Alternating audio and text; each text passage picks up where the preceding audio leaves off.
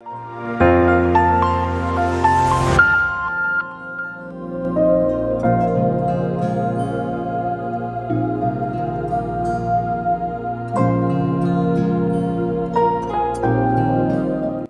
कल 14 फरवरी यानी 14 फरवरी को है बसंत पंचमी का त्यौहार। बसंत पंचमी क्यों मनाते हैं? इस दिन माँ सरस्वती की ही पूजा क्यों होती है? और हमें क्या क्या करना चाहिए? क्या क्या उपाय हम कर सकते हैं इस दिन? और किन लोगों को इससे बेनिफिट हो सकता है? उसकी सारी बात करते हैं। तो सबसे पहले समझ लेते हैं कि बसंत पंचमी का जो त्यौहार है, वो मनाया जाता है माँ सरस्वती के लिए।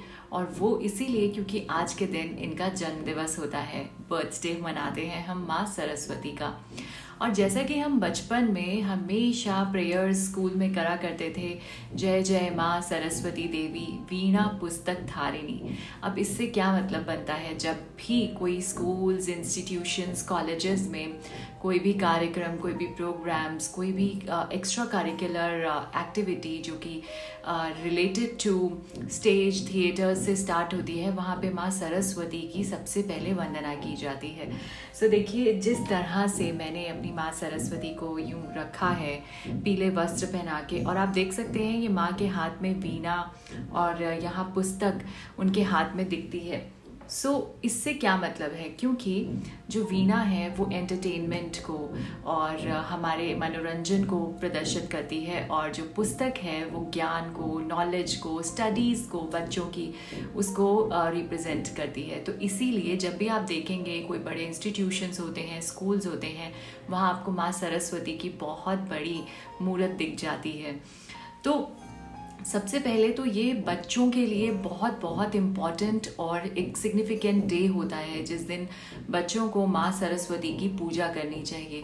और वैसे भी डेली रूटीन में भी हमको माँ सरस्वती को ध्याना ही चाहिए। क्यों? क्योंकि माँ सरस्वती जो है, वो बुद्धि की देवी है।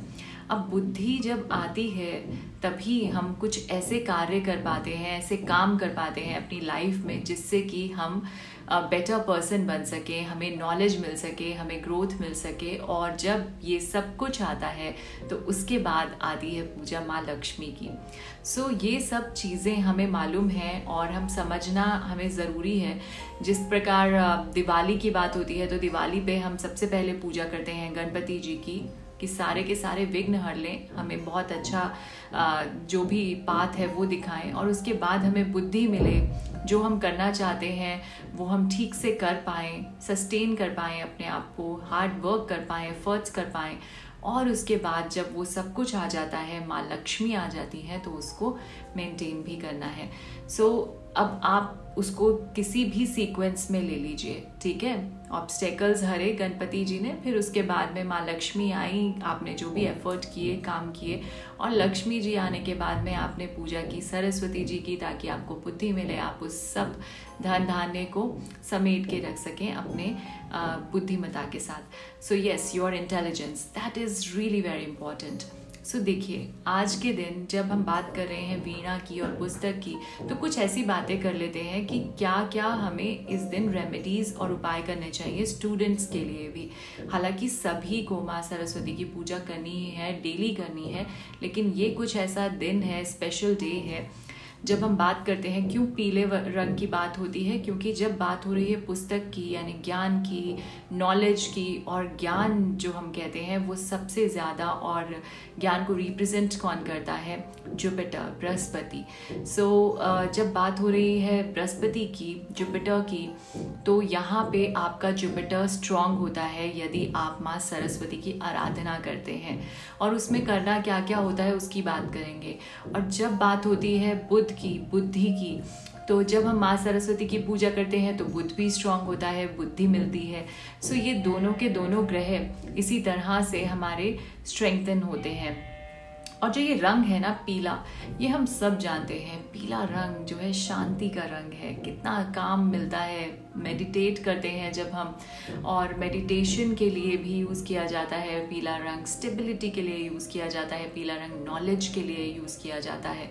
और ये सब चीज़ें ये जो स्टेबिलिटी और कामनेस पीसफुलनेस ये सब मिलती है हमारे को हेल्थ uh, अच्छी मिलती है येलो कलर जब हमारी लाइफ में सराउंडिंग्स में होता है। सो so, ये बहुत ही शांति का रंग है।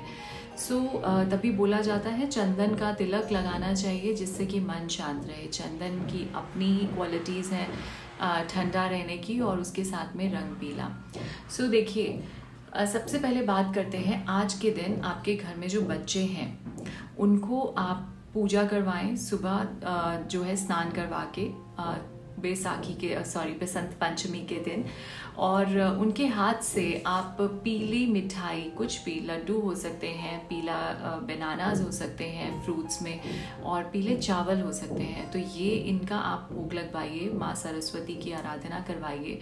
और इससे आप देखेंगे कि बच्चों की जो स्टडीज़ है, हालाँकि पढ़ना उन्हीं को है एक्शन उन्हीं के हैं, लेकिन ये जो ब्लेसिंग्स होती हैं माँ सरस्वती की, ये उनको मिलती हैं।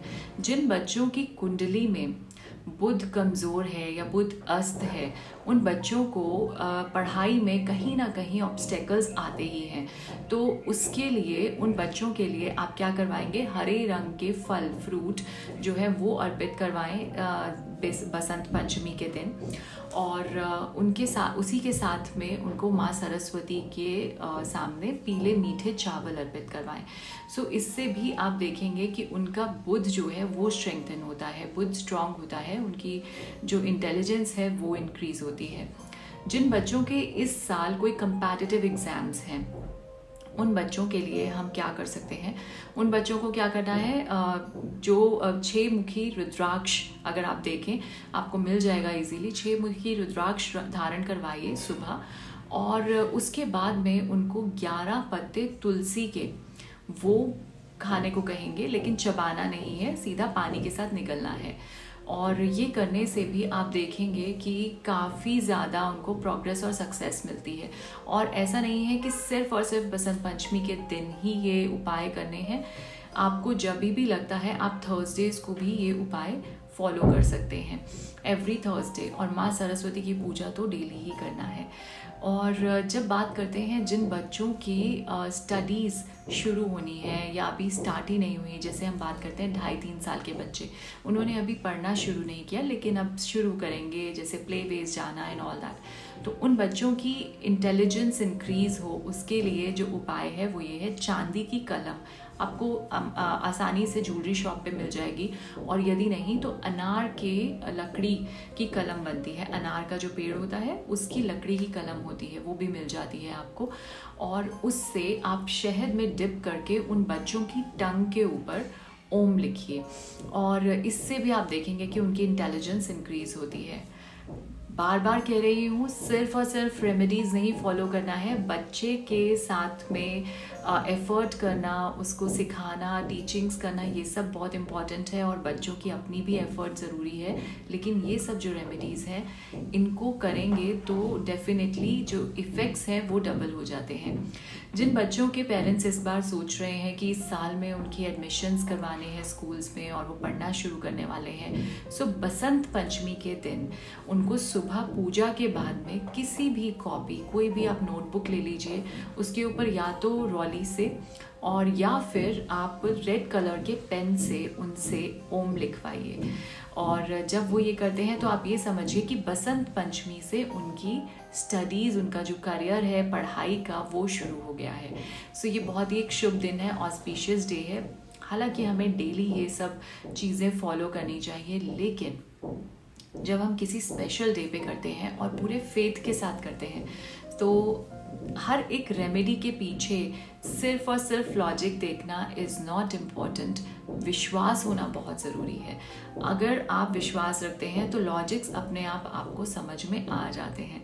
सो so, with every you know with the entire 100% trust and uh, faith you need to perform these remedies. ये उपाय आप कीजिए अपने बच्चों के साथ में। और उसके साथ यदि हो सके तो बच्चे जो पढ़ते हैं जो पढ़ने वाले बच्चे हैं बड़े हैं उनके स्टडी टेबल्स हैं उनके स्टडी टेबल पे अगर हो सके तो आप सरस्वती माँ का चित्र जो होता है फ़ोटो वो कहीं पे आप प्लेस कर सकते हैं जिससे कि उनको ब्लेसिंग्स एवरी टाइम मिलती हैं। हालाँकि सारे एफर्ट्स बच्चों के होते हैं but blessings are really very important these energies are really miraculous and magical so ठीक है, ये सब कीजिए और बसंत पंचमी के दिन पीले वस्त्र पहनिए, आपको बहुत शांति मिलेगी।